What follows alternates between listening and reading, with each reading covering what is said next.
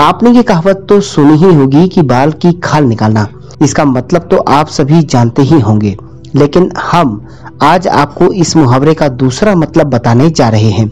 जी हाँ क्या आप जानते हैं कि आप जिन बालों को कटने के बाद छूना भी पसंद नहीं करते, जिसे कचरे के डिब्बे में फेंक दिया जाता है, आपके वही बाल सोने चांदी की तरह कीमती हैं। इन कटे बालों से दुनिया ही नहीं, बल्कि हमारे देश, भारत में भी लोग करोड़ों रुपए की कमाई कर रहे हैं। तो अब आप समझ गए होंगे कि इस मुहावरे का दूसरा मतलब क्या है। आइए जानते हैं कि क्या राज है इन कटे हुए बालों का और कैसे ये कटे हुए बाल करोड़ों रुपए कमाने का साधन बनते हैं। भारत और चीन बाल के व्यापार में सबसे आगे हैं। दोनों ही देश दुनिया के कई हिस्सों में कटे हुए बाल ट्रांसपोर्ट करते हैं। भारत में चेन्नई और कोलकाता का नाम इस बिज़नेस में सबसे आगे है। द हिंदू में एक रिपोर्ट छपी थी, जिसमें ये बताया गया था कि चेन्नई में कई महिलाएँ घर घर जाकर बाल इकट्ठे करती हैं। उन्हें बालों के वज़न के हिसाब से पैसे दिए जाते हैं। जैसे 50 ग्राम बाल के बदले 50 रुपए मिलते हैं। इस तरह बालों को नॉन रेमी हेयर या कॉम्ब वेस्ट भी कहा जाता है। ये ही बाल बड़े व्यापार का ज़रिया बनते हैं, जैसे सलून में, पार्लर में या मंदिरों में मन्नत के तौर पर जो बाल चढ़ाए जाते हैं, उन्हें भी बेच दिया जाता है उन कंपनियों का जो विग बनाती हैं या वो कंपनियाँ जो नकली बाल लगाकर बाल लगाने का काम करती हैं।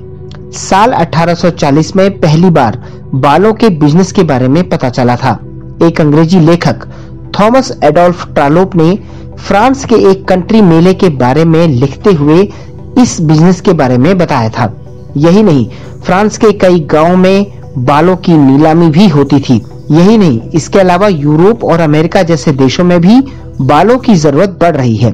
19वीं सदी में देखा गया था, कैथोलिक देश स्पेन, फ्रांस और इटली जैसे देशों में कॉन्वेंट में आई नई लड़कियों के बालों को रस्म के तौर पर काट कर बेच दिए जाते थे।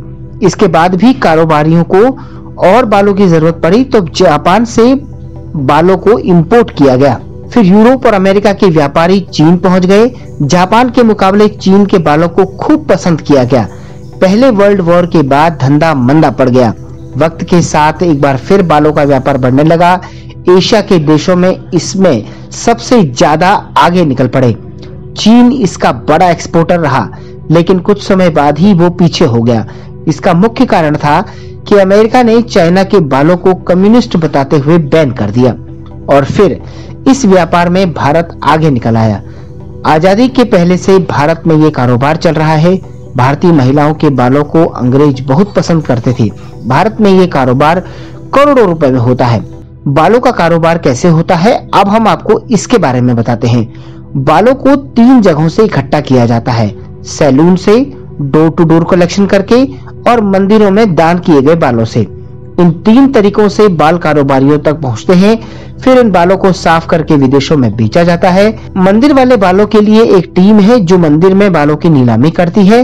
ये सुविधा ऑनलाइन भी है। तिरुपति बालाजी देव स्थानम बोर्ड रोज़ाना करीब 500 किलो बाल इकट्ठा कर लेता है। फिर ई ऑक्शन के ज़रिए पच्चीस हज़ार रूपए प्रति किलो बेचा जाता है। साल 2015-16 में इन बालों को बेचकर टीटीडी ने 200 करोड़ रुपए इकट्ठा किए। बड़ी कंपनियाँ इन बालों को धोकर साफ़ पानी में सुखाकर दुगनी कीमत पर बेच देती हैं। मार्केट में दो तरह के बालों की डिमांड ज़्यादा रहती है। रेमी हेयर, जो बाल समान लंबाई के होते हैं, इनमें बनने वाली विग सबसे अच्छी होती है, जो एक साल से भी ज़्यादा वक्त तक चलती है। दूसरी होते हैं वर्जिन हेयर ये सबसे अच्छी क्वालिटी के होते हैं क्योंकि इन पर किसी भी प्रकार के केमिकल का यूज़ नहीं किया गया होता है। इन बालों को सीधा ही बेच दिया जाता है।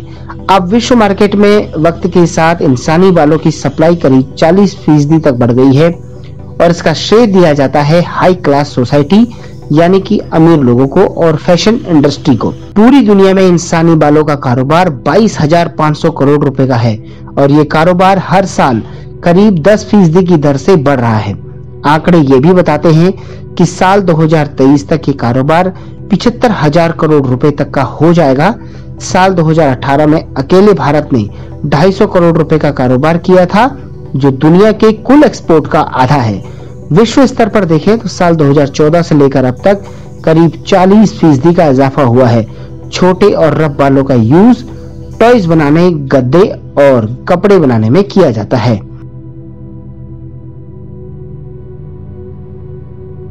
हमारे साथ जुड़े रहने के लिए देखते रहिए देश रोज़ाना का यूट्यूब चैनल सब्सक्राइब कीजिए, साथ ही देश रोज़ाना की खबरें सबसे पहले देखने के लिए प्रेस कीजिए बेल आइकन